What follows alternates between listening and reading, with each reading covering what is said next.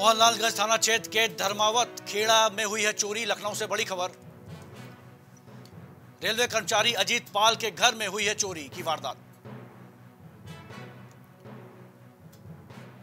जेवरात सही नकदी लेकर चोर हुए फरार। ये लखनऊ से बड़ी खबर है। मौके पर पहुँची पुलिस जाँच में जुटी।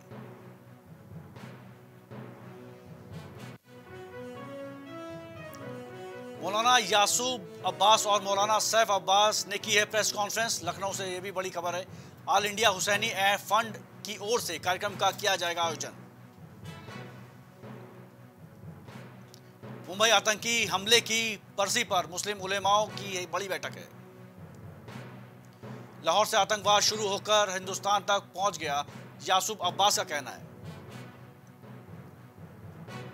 आतंकवाद के खिलाफ 26 को लखनऊ में जुटेंगे देश भर के उलेमा। अमेठी से बड़ी खबर। निकाय चुनाव से पहले कांग्रेस में मचा है बड़ा घमासा।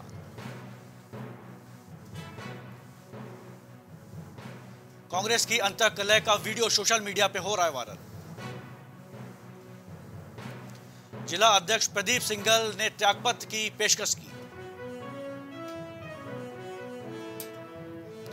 प्रदेश अध्यक्ष खाबरी के सामने खुले मंच पर की पेशकश। प्रदीप सिंगल के कार्यकर्ताओं पर लगाए हैं गंभीर आरोप। खुले मन से प्रदीप सिंगल ने गिनाई कई कमियाँ।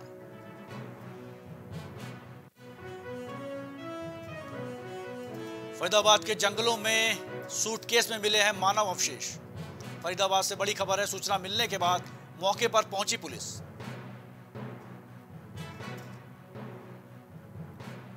फोरेंसिक टीम और क्राइम ब्रांच की टीम पहुँची मौके पर। सूटकेस के पास मिला महिला के कपड़े।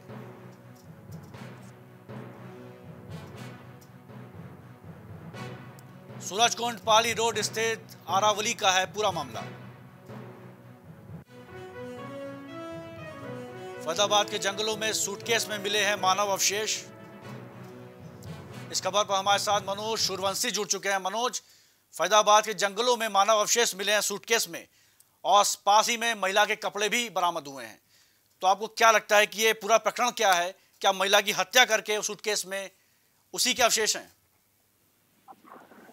एक, एक और जहाँ पर अभी दो, दो महीने पहले अभी हत्याकांड मामला जो लगातार जो जिस, जिस तरह से हैदराबाद में मिला है तो मानव अवशेष मिले हैं उसको लेकर मचा हुआ है और तमाम एसीपी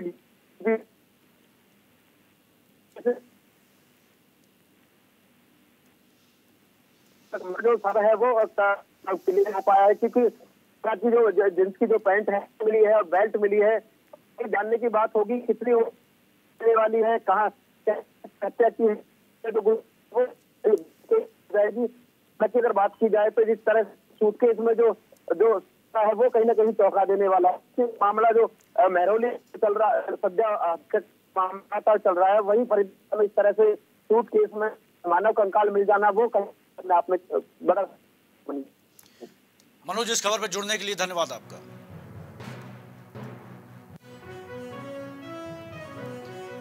चुनाव आयोग पहुँचे सपा नेता राजेंद्र चौधरी, लखनऊ से बड़ी खबर।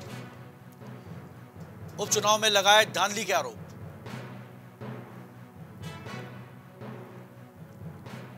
दो विधानसभा सीटों के वोटरों को धमका रहे हैं थाना अध्यक्ष व पुलिसकर्मी। सौ पुलिसकर्मी सपा कार्यकर्ताओं पर कर रहे हैं अनुचित कार्रवाई। मेडिकल रिपोर्ट के नाम पर फर्जीवाड़ा, लखनऊ से बड़ी खबर है। मेडिकल रिपोर्ट बनाने के नाम पर बड़ा खेल चल रहा है।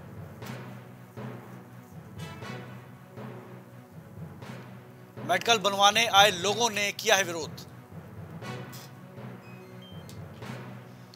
विदेश जाने के लिए सैकड़ों की संख्या में लोगों की लगी भीड़।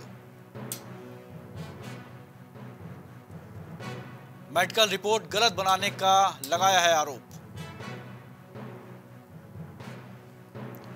एशना डायग्नोस्टिक सेंटर पर गंभीर आरोप। हजरतगंज थाना क्षेत्र का मामला है ये।